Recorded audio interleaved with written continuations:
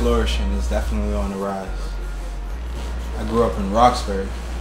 It's uh, it's uh, Orchard Park to be specific. Boston, uh, it made me step it up. You know, it's a lot of good, it's a lot of good talent that's undiscovered. So uh, it made it's it's higher it's higher standards for what's good and what's great. You know, so it definitely made me step it up. I just kind of stay focused, but um, from from from input, we, we're doing well. You know, we're making some. You know what I mean? And the kids running up on us, I can tell we're doing something good. So uh, I just hope I leave behind something, something worth remembering. I mean, this jacket is like so it's older than me. This is gifted.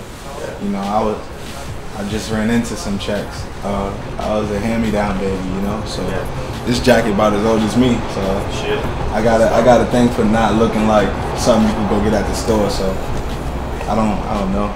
Then I start finding stuff to match with it. It really ain't nothing, you know. And we just stay childish with it, stay playful, have fun. You know? Again, I'm in my own world. I try to make sure I stay ahead of the uh, the main, the current. You know what I mean? The current, what's what's happening.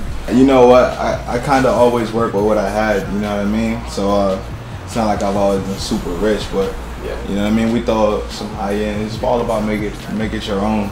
So I, I might you might see me with one piece of it, you know what I mean clothing that somebody got, but I'm, I'm it like nobody does. So I kind of I kind of mix the high end with whatever. You know, some people tell me don't wear those things together, but use use your use your life as you will. but yeah, I mean because everywhere across the map we go through similar struggles.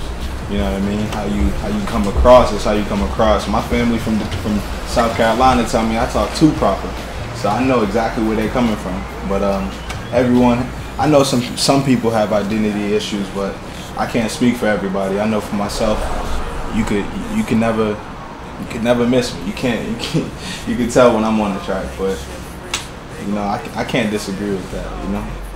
Yeah, I was only speaking my perspective. You know what I mean? The older has been doing it for a while. You know what I mean? I got my um, my fashion sense from looking up to uncles and people that was really having it and stuff. So a lot of people was always wearing it, but it was overt. It was like I'm gonna tuck my shirt in, so you know what I'm doing. but uh, that's just life. I'm still ugly, real ugly, but she'll still fuck me. You could have a million monies, boy, you still bum me. I had to copyright the slang way they steal from me. The other night the day, but it's still funny. That's why, that's the inspiration. We still ugly.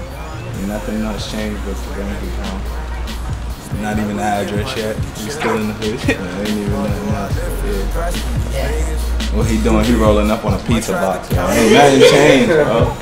That's the inspiration. I, I, I'm a sponge sometimes, you know what I mean? I just see what's around me. So it's still ugly sometimes. I go, I take those trips. I ain't move out the hood. I have to take those trips to La La Land and I come back. I go overseas and I come back. It's, it's still ugly.